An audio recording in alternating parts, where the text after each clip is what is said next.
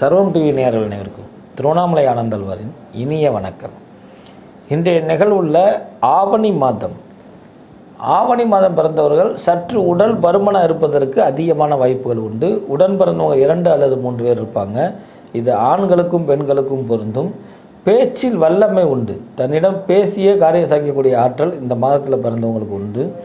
பிரதான கோயில் விழாக்களை நடத்துவதற்கும் கோயில் சம்பந்தப்பட்ட வசூல் போவதற்கும் கோயில் சம்பந்தப்பட்ட முயற்சிகளில் வெற்றி காண்பதற்கும் சிறப்பு. மனைவி மேலே மிகுந்த மரியாதையும் பாசம் இருந்தாலும் கோபமே வராது. வந்தால் கடும் கோபம் இருக்கும். இந்த ஆவணி மாதத்தில் பிறந்தவங்களுக்கு அது.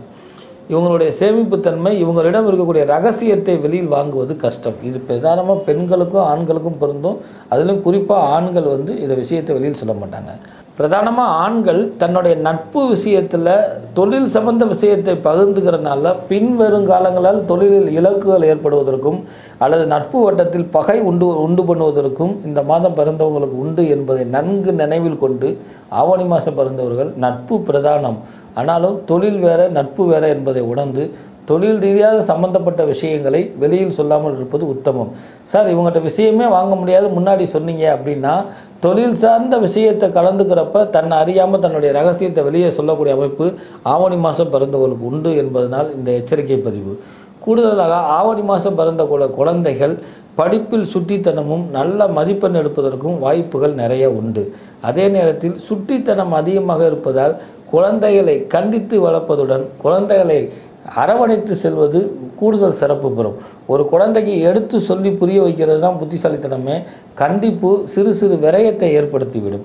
இந்த ஆவணி மாதம் பிறந்தவர்களுக்கு தசா புத்தி சரியில்லாத காலகட்டத்தில் நாற்பத்தோரு வயது அல்லது அறுபத்தி ஏழு வயது அல்லது முப்பத்தோரு வயது. முப்பத்தோரு வயதுனா பெண்கள் அல்லது முப்பத்தொம்போது வயது. முப்பத்தொன்று முப்பத்தொரு பெண்களுக்கும் மேற் சொன்னக்கூடிய வயசில் இருக்கக்கூடிய ஆண்களுக்கு அறுவை சிகிச்சை மேற்கொள்ளக்கூடிய காலகட்டம் இருப்பதால் அந்தந்த ஜா ஜாதகத்தை நன்கு ஜோதிட வல்லுநர்களில் கலந்தாலோசித்து அந்த அறுவை சிகிச்சை குறைப்பதற்கு உண்டான தெய்வ வழிபாடை கூட்டிக் கொள்வது தெய்வங்களுக்கு உண்டான விரதங்களை அனுஷ்டானம் பண்ணுவது இவர்களுக்கு ஏற்படக்கூடிய அறுவை சிகிச்சையை தவிர்க்கும்.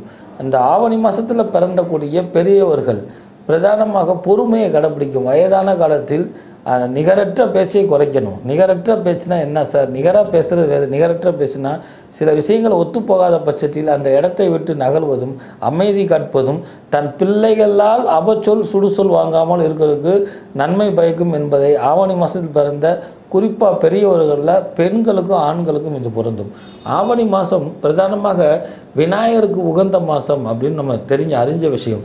அதனால் இந்த ஆவணி மாதம் பிரதானமாக ஆச்சாரிய சம்பந்தப்பட்ட இந்த ஆவணி மாதம் பிறந்த ஒரு தடவையாவது அது ஐயர் ஐயங்கார் அல்லது ஆச்சாரியர்களை வீட்டுக்கு அழைச்சி அவங்களுக்கு மரியாதை பண்ணி அவங்களுக்கு பூணல் வாழைப்பழம் வெத்தலைப்பாக்கு கொடுப்பது இவங்களுக்கு ஏற்படக்கூடிய புணர்வு தோஷம் புனர்ஜென்ம தோஷம் வேறு ஏதாவது ஜாதகத்தில் தோஷம் இருந்தால் நீக்கக்கூடிய ஆற்றல் உண்டு. இவர்கள் பெரும்பாலும் விநாயகர் பெருமானை அதுலேயும் பிள்ளையார்பட்டியில் இருக்கக்கூடிய கற்பக விநாயகரை வணங்குறது இவங்க வாழ்க்கையில் எல்லாமே கற்பக விருட்சமாக அமையும். இவர்களுக்கு உகந்த எண் அப்படின்னு எடுத்துக்கிட்டோம்னா மூணு ஐந்து ஏழு இவர்களுக்கு உகந்த எண்ணாக வரும். இவர்களுக்கு உண்டான அதிர்ஷ்ட கலர்னு எடுத்துக்கிட்டோம்னா ஒயிட்டு அதே போல் டார்க் ப்ளூ க்ரீன் இவங்களுக்கு. இந்த க்ரீன் கூட பிஸ்தா க்ரீனாக இருந்துச்சுன்னா இவங்களுக்கு உகந்ததாக இருக்கும். ஜனநகால ஜாதகத்தையும் தசாபுத்தியுமே ஆரோக்கியம் எடுக்கணும். இது பொது பலனாக இருக்கிறதுனால இந்த மாதத்தில் பிறந்தவங்களுக்கு இந்த மாதிரி அமைப்புலாம் இருக்கும். ஆணை முகத்தான் அந்த ஜம் கம் கணபதின்னு சொல்லக்கூடிய அதுலேயும் குறிப்பாக கற்பக விநாயகரை வணங்கிட்டு வருது பெரும்பாலும் ஆவணி மாதம் மாலை பொழுதுல அருகில் இருக்கக்கூடிய வினார் கோயிலுக்கு போய் தீபம் போட்டு வருவது அல்லது ஏற்கனவே எரிந்து அணையக்கூடிய நிலையில் இருக்கக்கூடிய விளக்குக்கு எண்ணெய் திரி போட்டு கொண்டு வருவது பெரிய ஆச்சாரியர்களை பார்த்தா வணக்கம் வைப்பது அவர்களுக்கு உண்டான பானகம் கொடுப்பது இதெல்லாம் ஆவணி மாதத்தில் பிறந்தவங்க செய்யும் பொழுது குபேர யோகத்தை கொடுக்கும். சொத்து சுகம் வாங்கும் பொழுது ஒன்றுக்கு மேற்பட்ட சொத்து வாங்கும் பொழுது அது உகந்ததா ரொம்ப லாங்காகவே அமையும். உங்களுக்கு பக்கத்தில் சொத்து அமையாது. அப்படி தூரமாக இருக்கிறப்ப நம்ம போய் பார்க்க முடியாத ஒரு சூழ்நிலை அல்லது நமக்கு தேவையில்லாத ஒரு சூழ்நிலை ஏற்படுத்தும். அப்படி இருக்கும் காலகட்டத்தில் ரொம்ப கவனமாகவும் அது தேவையா என்பதை உகந்து செய்கிறது ஆவணி மாதத்தில் உகந்ததாக இருக்கும். ஆவணியில் பிறந்தது க ஜம் கம் கணபதியினுடைய அருளால் எல்லாமே சிறப்பு படலாம். ஆனாலும் கூட உடலுக்கு தொடர்ந்து வேலை வாக்கிங் போவது சைக்கிளிங் போவது உடலுக்கு வேலை கொடுப்பது யோகா பண்ணுவது மூச்சு பயிற்சி பண்ணுவது பின்வருங்காலங்களில் உடல் பருமனையும் அதனால் ஏற்படக்கூடிய நோய்களையும் நீக்கும்.